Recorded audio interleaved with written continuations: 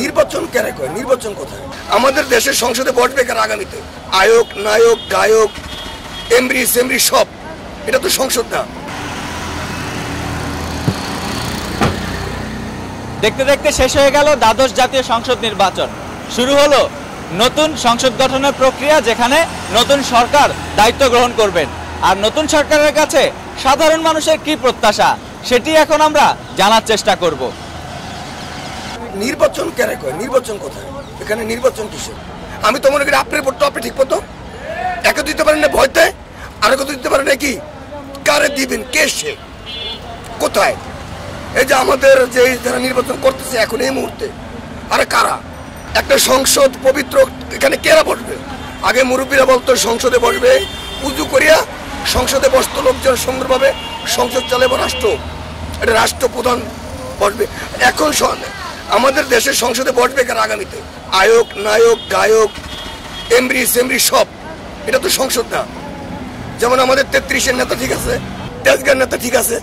আমাদের বিশেষ করে ধানমন্ডিতে দিছে। যেখানে বঙ্গবন্ধুর আমরা দেখি নাই, তার ঐতিহ্য। ধানমন্ডি এলাকা। এখানে একটা এমপি দিছে, কি এমপি? এটা কিসের এমপি? কে এমপি? এরকে আমরা ভোট কীভাবে দিব? বাংলাদেশ চাই ভাই একবারে ভালো মতো। যাতে দ্রব্যপণ্যের দাম আরও কমে। যেটা চলতেছে পনেরো হাজার টাকা বেতন গর্ভবতী হলো আট হাজার টাকা, থাকে সাত হাজার টাকা। বাজারে গেলে এক কেজি মাছ কিনা, আর কিছু কিনা যায় না, শেষ টাকা। সারা মাসের খরচা দশ দিনই শেষ হয়। এরকম চলতেছে। যদি দ্রব্যপণ্যের দাম যদি কমে, তাইলে ভালো আছে। আর যদি না কমে তাহলে আর কোনোটাই ভালো না, সব খারাপ। বেশি কিছু চাই না। এই সরকার চাউল ডাউল তেল আলু পেঁয়াজ রসুন যাবতীয় যত কিছু আছে আমরা যাতে এই সরকার বাজারটা কমায় আমি আর কিছু চাই না।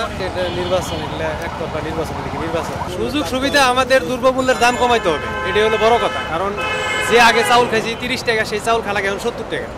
এক কেজি আলু কিনতে গেলে লাগে সত্তর টাকা। নতুন সরকার গঠন করলে যাতে দেশের মধ্য মানুষ এবং গরিব মানুষের যাতে জিনিসপাতি করার ভিত- ভিতর থাকে এবং দাম যাতে কমায়। গরিব মানুষ এটাই চাই যাতে কম দামে সবকিছু কিনে খাইতে পারে এটাই গরিব মানুষ চাই খুব করুণ অবস্থায় আছি বর্তমানে আমরা চলার মতো কোনো ক্ষমতা নাই। কারণ জিনিসে পেঁয়াজের দাম বাড়তি মু- তেলের দাম বাড়তি চালের দাম বাড়তি ইয়ার দাম বাড়তি সবের দাম বাড়তি আলুর দাম বাড়তি সব পেঁপের দাম বে- দ্রব্যমূল্যের সব দাম বাড়তি।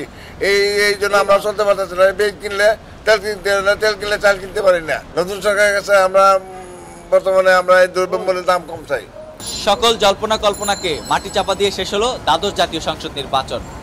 ভোট গ্রহণের মধ্য দিয়ে পরিসমাপ্তি ঘটল এবারের এই ভোটাভুটি। নির্বাচন শেষে শুরু হবে নতুন সরকার গঠনের প্রক্রিয়া। নতুন সরকারের কাছে দ্রব্যমূল্যের দাম কমানোয় জনমানুষের মূল দাবি হয়ে উঠেছে। আর কে চান ভোরের কাগজ ঢাকা।